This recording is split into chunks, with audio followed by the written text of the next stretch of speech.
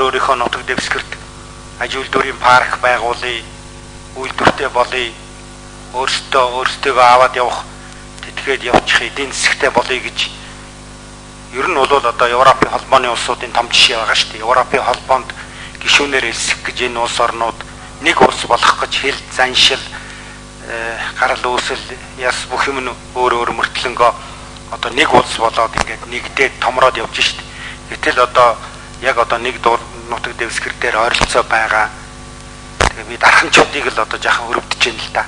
Ягаад тэгэхээр өөрийнхөө нутаг дэвсгэр дээр байгаа бэлэн томоохон байгуулагдсан үйлдвэрээ хөөж явуулаад сум болгож тусад нь тусад нь гаргачихад тэгээд 2000 хүрэхгүй хүн амтай дархан сум одоо яаж тэжээгдэж яаж цаашдаа эдийн засгийн бус болж үйлдвэржиж яаж амьдрах юм бэ гэдэг асуудал зайлшгүй тулгарч байгаа л да. Тэгээ энэ юг харуулж яах нэхэр бас ард иргэдэд зөв ойлголт өгж энэ асуудлыг зөв зохион байгуулахгүй байгаа юм болов уу гэж бодож байна л да.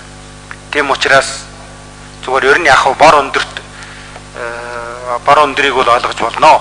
Баг гээд за тэгээд тэр захиргааны эрх хэрэгжүүлэх асуудал иргэдийн хурал байгуулах гэхээр хүн амынхаа тоогоор бор өндөрдөр хурлын төлөөлөгчдийн одоо юу гэдгийг 70 80% төвлөрчхөд суман дээр гэхээр 2 3хан мандат оногддог ч гэдэг юм уу.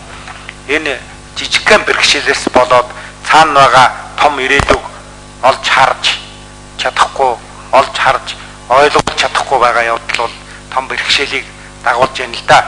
Цаашдаа ер нь бол одоо сум гэж юу хэлэх вэ гэхээр нэг юм тодорхойлт гарч ирэх гээд байна л да.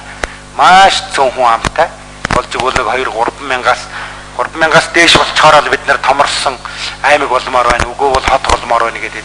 Тэгэхээр сум гэж юу хэлдэг вэ гэхээр тэгэхээр юу гэдгийг нэг 2 3000-аас бага хүн амтай ямар нэгэн амжиргааны их үүсвэр үйлдвэржилт огт байхгүй тийм нэг хэсэг бүлэг хүнийг хэлнэ гэсэн тодорхойлт байгаа юм шиг ийм сэтгэлгээгээр хамтхаа уг нь болчул зүгээр байгаа юм л да.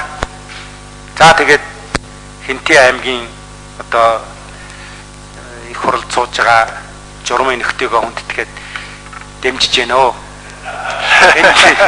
Энэ нөхдүүд маань гамбин бодоо наваг наашаа ингээ хараа суучлаа. Одоо авраг араас орж ирээд айгүй бол бариад авна л та.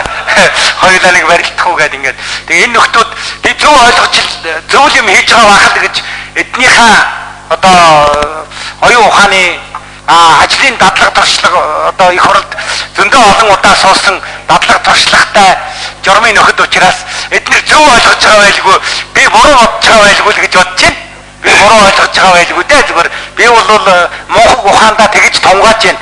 Тэгээд дархамчуудыг бол 2000 хүрэхгүй хүн нутаг дэвсгэртэй байгаа тэр сайхан үйлдвэрийг цааш нь хөөж жийгээд байгаад л би үнэхээр гайхаж